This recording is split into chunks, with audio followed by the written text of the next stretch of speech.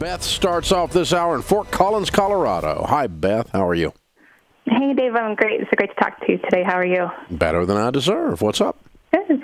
Um, so my husband and I have been following your plan for a while now, and we're just finishing up with baby step three, and things are going great for us. However, I'm calling today because my mother-in-law and my brother-in-law are struggling financially, and we're trying to help them get on board with the Dave plan. Mm-hmm. And I'm I'm worried that if they don't get a better handle on their finances, then my husband and I are going to have to step in and help support them. And we already have a full plate with three young kids. Mm-hmm. And so, just wondering if you have any, any advice on how to help them help themselves. Mm. Um, how, how old is your mother-in-law? She's 71. And what does your brother-in-law have to do with her? Does he live with her?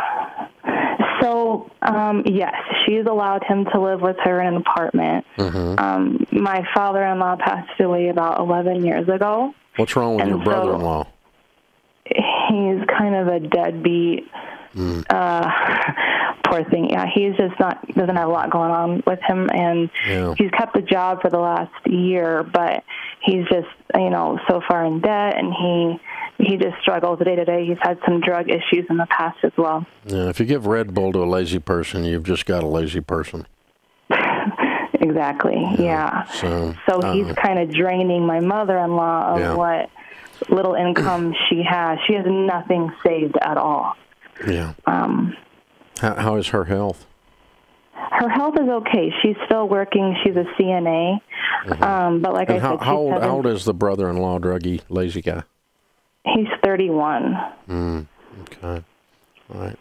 Well, um, number one, I think you and your husband need to have some discussions about what you are willing to do and for whom you're willing to do it. Um, I, ha- I have pretty strong opinions about that, as you might guess. Um, and that would be a 71 year old widow lady that is my mom. I'm going to do a lot to take, care, take care of her. I'm doing zero for this other guy. Right. He's a parasite. Mhm. Okay. And really, a lot, some serious hard times might be good for him. Right. And, um, you know, the only way I'm doing anything for him is if he's on a whole lot better track than he's on right now. Like, um, you know, he's actually working all the time. He's drug free. He's, you know, and so on. Um, Right. He's got, he's, you know, whole different animal starts to evolve than has so far. So I'm worried I have to take care of him later is not a statement I'm going to make. Okay. I might be in a position that I'm wealthy enough that I choose to help him if he is doing some things that are taking him in a positive direction. I'm not going to finance his bad behavior like his mommy did. Mm-hmm. Because everyone's patted his little hand his whole life and said, It'll get better, sweetie. It ain't going to get better. Mm -hmm. Okay? Because he's a bum. Until he stops bum stuff, then he's going to be there. Now, first, and I can separate the two of these as far as wh- who I'm willing to help and what I'm willing to help. Um, So I doubt that you're probably going to talk mom into behaving with money while she's trying to take care of and be codependent with this parasite. Okay. I doubt you're probably going to have much issue there, you know, progress there, as long as that relationship stays in that toxic form that it's in. It's not good. Mm-hmm. It's not good. It's not good for him because he's not getting better. He's not addressing his character issues. It's not good for her because he's sucking the bone marrow out of her life, right? Yes. That's exactly and it's what's just happening. you know it's just disgusting to watch it's very difficult your husband gets mad on one level and you get mad on a whole nother level watching this. Yeah, just read your mail. Yeah. So um, you need to keep your mouth shut and step back. That's his family. And let him deal with his family, and you and him talk about it behind closed doors, and then he has to say whatever is said. You can't say anything. You're just the Wicked Witch of the West. You're not allowed to say anything. You're the daughter in law. And so, Yes. um, can you tell? Yeah. So, anyway, you can do this. How, and you guys are what, 35? Yeah, we're Yeah. I'm 33, my husband's 36. Yeah, he's the older brother. Yeah. Yeah, the, Yeah, the- he's the oldest, and he's kind of taken over the The parasite's figure, the parasite's the to. baby. Yeah. Okay. Yeah, that's the one. And I'm so sorry. It's so painful to watch people you love do stupid stuff that destroys their own lives. It's just hard to mm-hmm. watch. It really is, and and it's harsh. It just really is. But you've got to. You need to establish ahead of time what your boundaries are and what your priorities are and what under what circumstances you will participate. If you okay. don't establish that ahead of time, you and your husband, and go and write it down. So the two of you like have your little family constitution of how we're going to deal with mom, how we're going to deal with brother.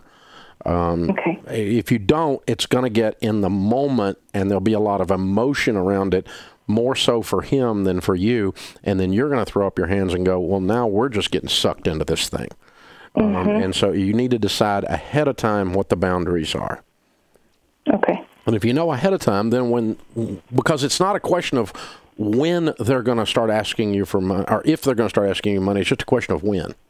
Exactly. And under what circumstances? Yeah, under what circumstances are you going to participate? And really, I'm going to help mom if you can. And the way you do that is you can talk to her about it. You can get her kind of on an idea that she might want to do a budget. Show her some of the stuff you're doing. You can't, yeah. but he can. You can, but but I really am not going to give you much hope she's going to do it because any progress she makes, he's going to take. Okay. He he takes everything.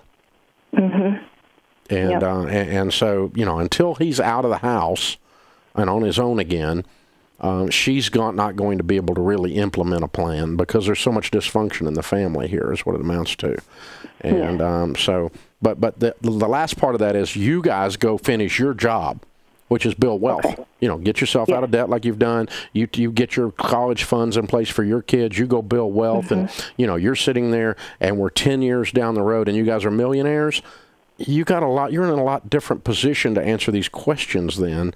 If mom's okay. 81 and junior's out of the house and now we want to take care of mom it's kind of a no-brainer. Yeah we'll take care of her.